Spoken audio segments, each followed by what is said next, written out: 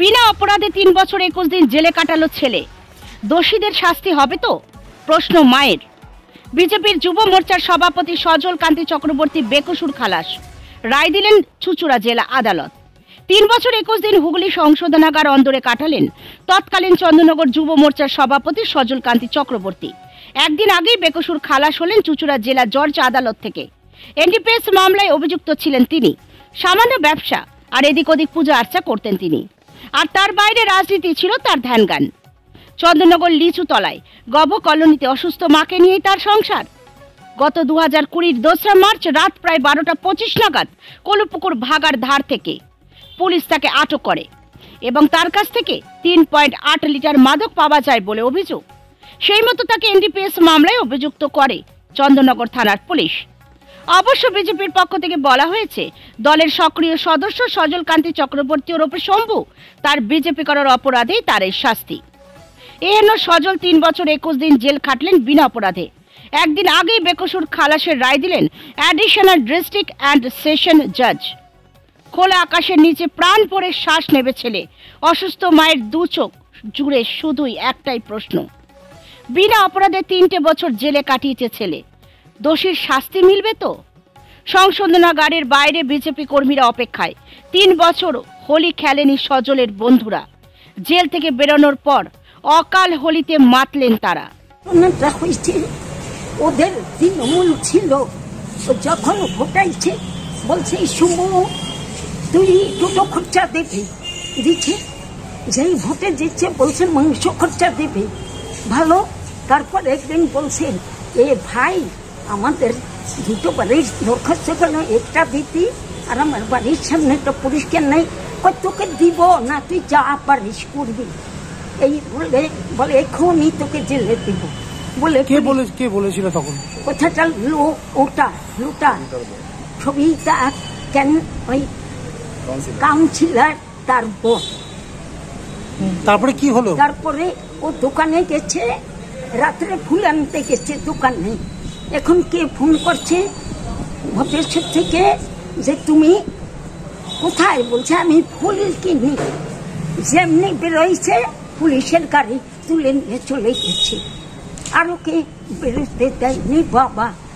বিনা দোষে আমার ছেলেকে এই তিন বছরের জেল খায়, আটালো এখন আপনারা সবাই পড়ছেন বলে আমার ছেলে আজকে এই লোকের চ্যাটার্জি তুষারদা, তারপরে এই বুবলাই এরা সব বেরোইছে দেখে বাবা এরা চেষ্টা না করলে আমার কিছু হইতো না। আর আদালতে আইনকে আমি ধন্যবাদ জানাই। আমার ছেলেকে তিন বছর পর বেকসুর ছাড়া পেল খালাস পেল পয়সা? ওই তো আমার আয় করতো মা। কি করবে? এই হয়ে গেছি কথা বলতে পারি না। এই সরকারের নির্মম নৃশংস অত্যাচার চলছে।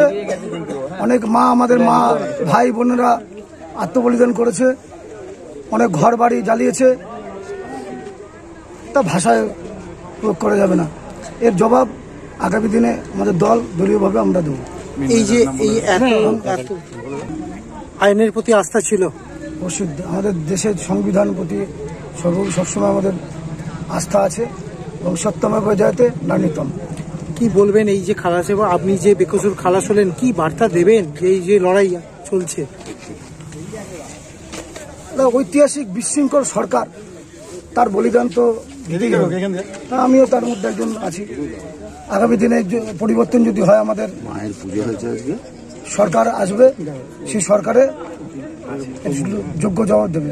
গত দুই তিন দু হাজার কুড়ি তারিখে চন্দ্রনগর ওই লিচুতলার বাসিন্দা এই সজলকান্তি চক্রবর্তীকে চন্দ্রনগর থানার পুলিশ অ্যাপ্রিহেন্ড করে এবং গ্রেপ্তার করে যে তার কাছে তিন দশমিক আট কেজি আট লিটার কোডিন মিক্সচার পাওয়া গেছে। এই পরিপ্রেক্ষিতে পুলিশ তদন্তকারী সংস্থা চার্জশিট দেয়, এনডিপিএস অ্যাক্ট অনুযায়ী এবং আজকে এই মামলার নজন সাক্ষ্যদানের পরে রায় ঘোষণা হলো এবং মাননীয় স্পেশাল কোর্ট, হুগলি জেলা আদালতের এডিজে আজকে তাকে এই মামলায় বেকুসুর খালাস দিলেন। এই তিন বছর ধরে সে জেলে রয়েছে, আর তিন বছর ধরে তার জীবনের অর্ধেকটা সময় প্রায় চলেই গেছে। তাহলে এরা যে গাঁজা কেসটা দিচ্ছে, সে গাঁজা নিজেই খায় না। সে গাঁজা খায় না, অথচ তাকে গাঁজা কেস দেওয়া হচ্ছে। কেন সেটা?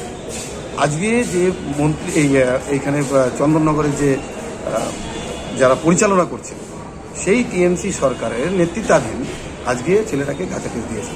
তার সংসারের অবস্থা খুব দুর্বিষহ। আজকে দাদা একটুখানি পুজো, পূজারী ব্রাহ্মণ, সেই একটু একটু চাল পায়, সেটা দিয়ে সংসার চলে। আর এদিকে রেশনে মোদিজির একটু চাল পাল যতটুকু পায়, সেই নিয়ে সংসার চলে। তাহলে এইটা কি? যে সমাজে ভদ্র থাকা কি দোষের? তার মানে কি, যারা চুরি করবে, দু নম্বরে করবে, গরু চুরি করবে, মাফিয়া হবে, তারা ঠিক থাকবে। আর সাধারণ মানুষ যারা ভদ্র সমাজে ভদ্র তৈরি করতে চাইবে, তাদেরকে কেস দেবে। দুশো টাকায় মটন একশো তিরিশ টাকায় চিকেন বিরিয়ানি, তাও আনলিমিটেড বাবা বিরিয়ানি। একশো নয় ওয়ার্কশপ রোড, থানার মোড় কাঞ্চরাপাড়া পিসি চন্দ্র জুয়েলার্সের কাছে।